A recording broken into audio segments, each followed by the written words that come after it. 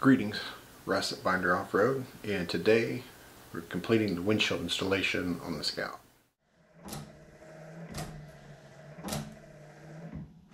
Now before we get into the installation of the windshield, I wanted to show some uh, final shots of how the windshield frame turned out. Uh, in these opening shots here you can see uh, this is the back side of the windshield and it was pretty rusty and in this shot here you can see the after um, after it was cleaned up and painted repaired. It actually wasn't really bad. A lot of that was just surface scale that I was able to clean up easily. And in this clip here you can see this is the front of the windshield frame. Uh, it was a little bit worse. It had a spot where it was completely rusted through had a hole in it. Uh, so for the rust hole I had to put in a, a repair patch panel there and just do uh, a lot of sanding, a little bit of body filler and uh, turned out pretty good. Alright, this is my seal. Went with the self-locking seal. I got this from Super Scout Specialist. There's a couple of places that specialize in these um, parts for the International Scout. And uh, so I, have dealt with Super Scout Specialist back in the 90s when it was still a paper catalog. And um, so that's I went with them. Prices are comparable.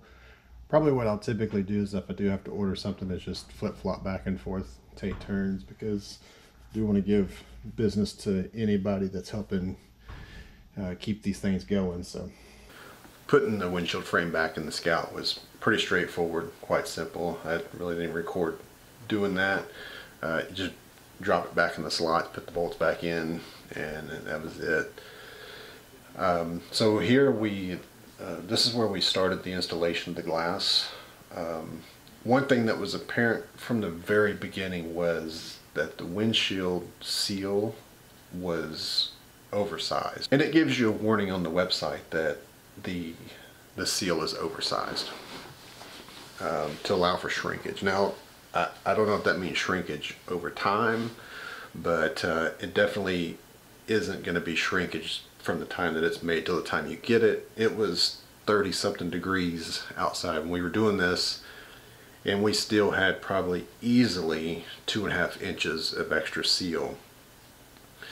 Um, interestingly, I don't see that warning about it being oversized on the seal that has the locking strip. I only see that warning on the the seal that has the built-in lock strip. So I'm curious. It was pretty difficult to get this in, um, especially, you know, I, I was fortunate. Uh, the guy that was doing the glass uh, didn't have a problem with me being there and helping, so I, I got to kind of get my hands in a little bit and, and see the installation. Um, we tried the typical method like what I've seen other YouTube videos where they um, put the seal in place, they, they put the glass into the back channel, um, they use the rope to try to, you know, to bring the, the locking strip forward and uh, it just wasn't working. I, I mean, it was working, but the problem is, is all the excess seal, um, we just constantly were fighting it, and, and um, it made it extremely difficult. So what I ended up doing after some debate is we we cut the seal. It says that it's supposed to be there, but in our case, it was so excessive that it literally was making the windshield to where you couldn't install it. I really didn't see any other option. Um, so we cut it. Now, of course, when we cut it, tried to, you know, hopefully the plan was is once we got it in that we would have cut just the right amount and the two ends would butt together, but we did end up with a little bit of a gap. Um, so, am I sad that we had to cut the seal? Um, yes. Is it the end of the world? No. Uh, it'll be fine. Um, we, we filled the gap with urethane um, in, on the inside, the outside. I know that it's sealed up good. It's not going to leak. In the end, I, I just didn't see any other way, um, unfortunately.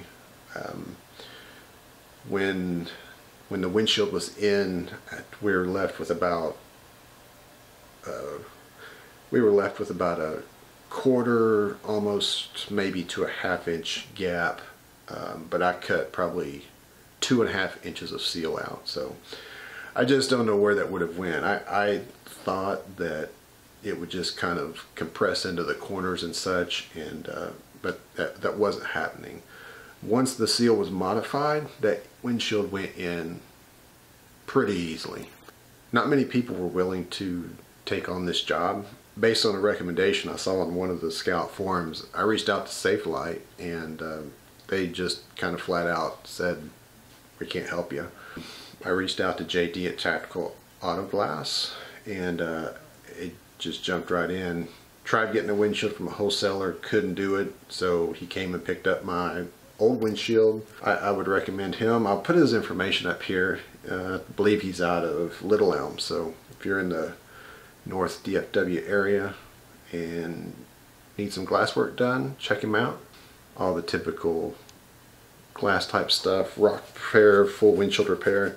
He also does, like I said, he, he wasn't afraid to take on this job. He also uh, said he does windshield and like uh, semi trucks and things like that. So uh, if you've got one of those jobs that you're having somebody, you know, the, the typical guy's not wanting to touch, check him out. He might be willing to do it. And that wraps up the windshield project. Uh, I'm so happy. This is the first time since I've owned this that it doesn't have rock chips in the windshield. And um, so I'm glad to get this done and be able to move on now. And we're just one step closer to being back on the road. So thanks for watching.